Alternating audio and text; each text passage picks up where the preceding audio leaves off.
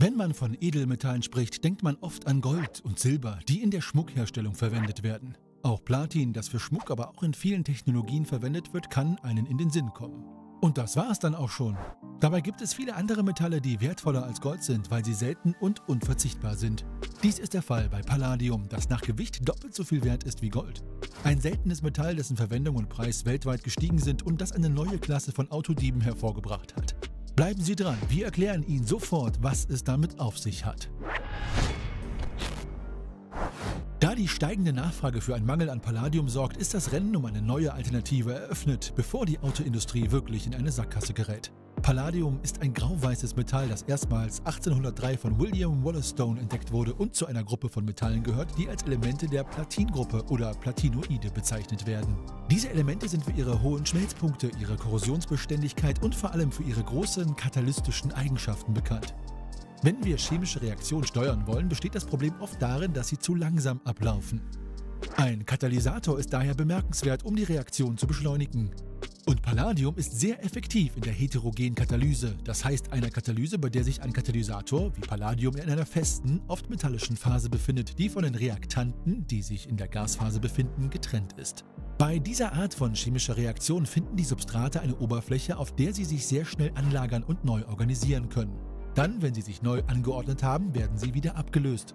Diese Oberfläche, die die Neuanordnung der Moleküle ermöglicht, ist der Katalysator. Er wird in der Reaktion nicht wirklich als Reaktant oder Produkt verwendet, er macht die Reaktion nicht möglich, aber wenn sie es ist, kann er sie stark beschleunigen. Palladium wird seit der Einführung strengerer Abgasnormen 1975 in den USA in Autos verwendet und ist seit 1993 in Europa für Neuwagen vorgeschrieben. Es wird in ein Gerät eingebaut, das Konverter oder Katalysator genannt wird und mehrere Arten von giftigen Emissionen gleichzeitig bekämpft. Ein Verbrennungsmotor produziert nämlich, wenn er läuft, drei Arten von Stoffen, die nicht in die Atmosphäre gelangen sollen. Unverbrannter Kraftstoff ist natürlich ein Problem. Ein weiteres ist Kohlenmonoxid, das von einem Kraftstoff stammt, der nur teilweise verbrannt wurde. Das dritte Problem sind Stickoxide. Im Motor kann der Stickstoff in der Luft oxidieren und so verschiedene Stickoxide bilden, die sauren Regen verursachen können und von denen einige eine ähnliche Toxizität wie Kohlenmonoxid aufweisen.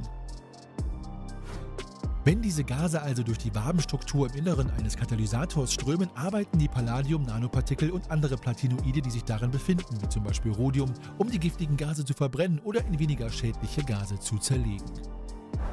Katalysatoren haben seit ihrer Einführung in den 1970er Jahren zu einem deutlichen Rückgang der Emissionen von Kohlenmonoxid und Stickoxid geführt.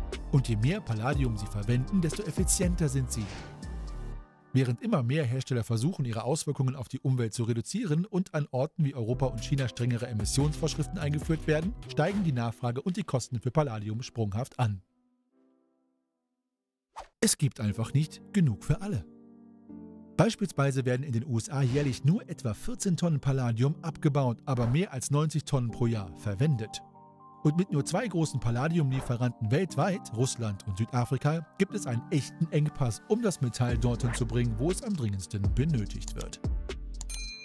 Man muss dazu sagen, dass die Konverter in den Fahrzeugen ziemlich exponiert sind. Man muss sich fast nur bücken, um sie aufzuheben. So gut wie jeder, der mit einer Säbelsäge oder einem Trennschleifer bewaffnet ist, kann sich unter ein Auto schieben und den Katalysator herausschneiden.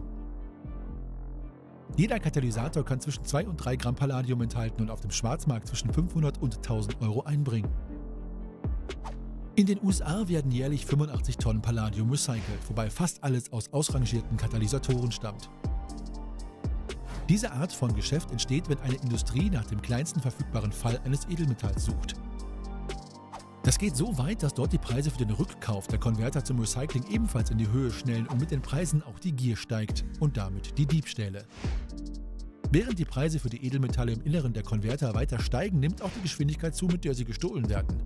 Allein in den letzten drei Jahren sind die monatlichen Diebstähle von Katalysatoren in den USA von etwa mehr als 108 Diebstählen pro Monat im Jahr 2018 auf mehr als 1200 pro Monat im Jahr 2020 angestiegen. Der Palladiumpreis ist die treibende Kraft hinter dieser ganzen Geschichte. Sodass Sie sich sicherlich fragen, warum wir uns bei wichtigen täglichen Aufgaben auf ein so seltenes Material verlassen. Um ehrlich zu sein, haben wir im Moment nicht wirklich eine Wahl. Aber das könnte sich ändern. Der Ersatz von Edelmetall ist ein aktives Forschungsgebiet. Das erklärte Ziel ist es, diese seltenen Metalle über technologische Innovationen durch viel gebräuchlichere Materialien zu ersetzen. Nicht nur in katalytischen Konvertern, sondern in vielen anderen Anwendungen, in denen Edelmetalle wichtig sind. Dies bleibt jedoch eine sehr große Herausforderung. Ein anderer Ansatz besteht darin, Materialien wie Palladium effizienter zu nutzen, indem man die Fläche, die eine bestimmte Masse dieses Metalls bedecken kann, vergrößert, indem man sie Atom für Atom verteilt. Dies ist nämlich die ultimative Mindestmenge an Metall, die man in ihn verwenden kann. Und das ist ein sehr einfaches Prinzip. Wenn man Materialteilchen hat, dann gilt, je kleiner man es macht, desto mehr Außenfläche hat man pro Menge dieses Materials. Und je kleiner man diese Partikel oder Plattierungen macht, desto mehr Konverter kann man mit der gleichen Masse an Platinoiden herstellen. Ergo, desto billiger sollte diese Herstellung sein. Doch das Palladium Engineering auf atomarer Ebene bringt auch neue Herausforderungen mit sich. Ein einzelnes Atom ist viel weniger stabil als ein Cluster und damit noch viel weniger stabil als ein loses Metall. Daher wird derzeit viel darüber geforscht, wie man ein einzelnes Atom von Palladium, Rhodium oder Platin dazu bringen kann, an Ort und Stelle zu bleiben und seine Funktionalität über einen langen Zeitraum zu erhalten.